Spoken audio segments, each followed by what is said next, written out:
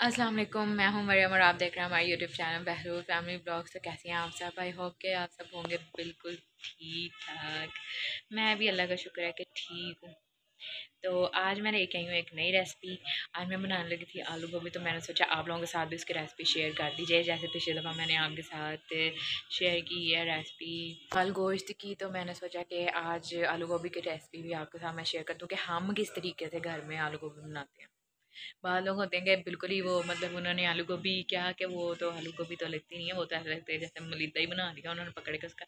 मैं आपको बताऊँगी कि कैसे खड़ी खड़ी सी आलू गोभी हम बना सकते हैं कि ज़्यादा ख़राब ना हो और वो नरम तो हो, लेकिन पता लगे कि गोभी बनी हुई है ना? पता लगे कि बिल्कुल ही लेटी बना आती है फड़ के। जी तो इधर मैंने रख दिया देश की स्टोव के ऊपर और इसके अंदर मैं डालने लगी हूँ ऑयल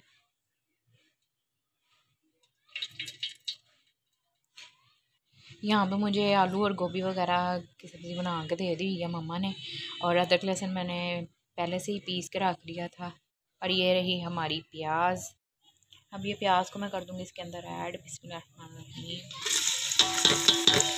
हम कर लेंगे अच्छे से लाइट ये हो गई है प्याज और अदरक लहसुन का पेस्ट भी अच्छी तरह से गोल्डन अब इसके अंदर मैं ऐड कर दूँगी थोड़ा सा पानी।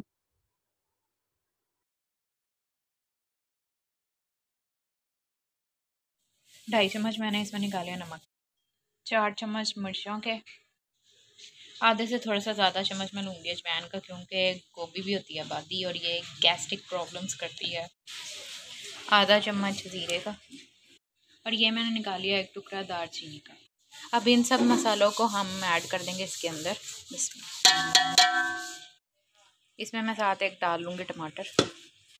इसको मैं ढाँप के रख दूँगी पाँच मिनट के लिए ताकि अच्छे से मसाला हो जाए तो फिर इसको भून लें इधर मैंने आलू धो के भिगो दिया हमें और इसमें मैंने डाला एक चम्मच नमक का, क्योंकि एक तो इसके अंदर ये जो फीका फीका बन होता है, वो सही हो जाएगा। दूसरा, आलू जो उनसे हैं, वो फ्रेश रहेंगे। तो इधर हमारा मसाला भी हो गया हुआ है एकदम रेडी तो इसके अंदर अब मैं डालूँगी चार चम्मच दही के एक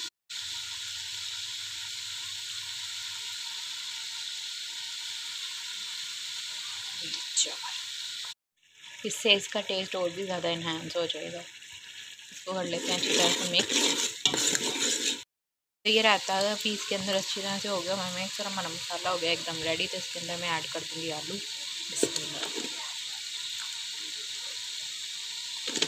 इसको भी अच्छी तरह से कर दूँगी हमने और इसको इसी मसाले के अंदर अच्छी तरह से थोड़ी देर हम भून लेंगे। ताकि मसाले का टेस्ट इसके अंदर चला जाए पाँच छोटी छोटी सी हरी मिर्चें, ये भी मैं इसके अंदर डाल दूँगी।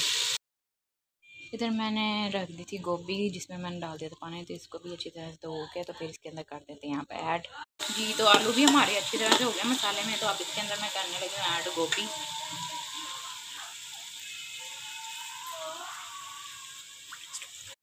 बिस्मिल्लाह।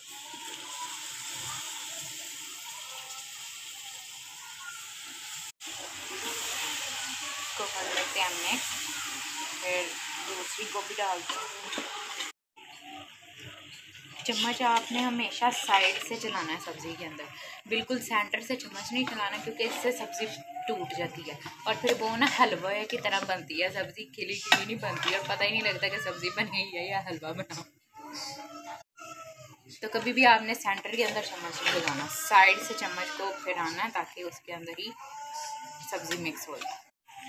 इसके अंदर मैंने बिल्कुल भी पानी ऐड नहीं करना क्योंकि सब्ज़ी का अपना ही पानी निकलता है और उसी के अंदर ही वो पके ना तो उसका जायका बहुत ज़्यादा अच्छा आता है। तो इसलिए मैं इसके अंदर बिल्कुल भी पानी ऐड नहीं करूँगी, इसका जो पानी निकलेगा उसी में ही ये पकेगी। जी तो अब आप ये देखें कि इसका निकल आया हुआ सब्ज़ी का अपना ही पानी इसके अंदर, ये देखें ये आपको नज़र आ रहा होगा। तो ये इसके अंदर ही पकेगी, इसमें मैंने बिल्कुल भी पानी ऐड नहीं करना। गोभी का निकल आया था अच्छी तरह से पानी तो मैंने नीचे वाली गोभी जो सी ऊपर कर दिया और ऊपर वाली नीचे कर दिया, इसको मैंने साइड समझ लें कि इसकी चेंज कर दिया। मैंने रखा हुआ है खाना बनने के लिए और इधर परवा दो रही हैं बर्तन। वाह वाह, रगड़े मांझे ला रही है। ये देखें, ज़रा भी गोभी जो सी है, वो मेरी टूटी नहीं है और देखें कितनी प्यारी बनी है। ये देखें। जी तो गोभी हमारी एकदम हो गई है रेडी तो इसके ऊपर मैं डाल दूँगी हरा धनिया। धनिया मैंने इसके ऊपर डाल दिया, अब इसको रख दूँगी मैं दस मिनट के लिए दम पर। जी तो ये देखे गोभी मेरी हो गई है एकदम रेडी और ऑयल भी इसका आया हुआ है निकल और ये देखें ज़रा कैसी है, एकदम बिल्कुल अलग अलग सी है।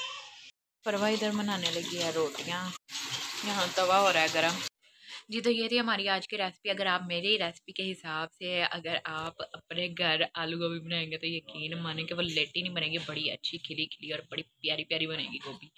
तो आपको अगर हमारी रेसिपी पसंद आई हो तो प्लीज़ हमारे चैनल को सब्सक्राइब ज़रूर कर लीजिएगा और लाइक शेयर कमेंट ज़रूर किया करें। इस तरह हमारी भी हौसला अफजाई होती है और हमें भी पता लगता है कि आप लोगों को हमारे ब्लॉग्स पसंद आ रहे हैं। तो प्लीज़ हमारे चैनल को सब्सक्राइब ज़रूर कर दें और लाइक शेयर कमेंट ज़रूर किया करें। तो आपसे होगी इंशाल्लाह मुलाकात एक नए और अच्छे ब्लॉग के साथ। तब तक के लिए रखिएगा अपना बहुत सारा ख्याल। जहाँ भी रहें, खुश रहें, आबाद रहें तो मुस्कुराते रहें और अपनों में रहें। अल्लाह ताला आपको और हमें रखे बुरे लोगों से, बुरी नज़र से, बुरी सोबतों से बचा कर।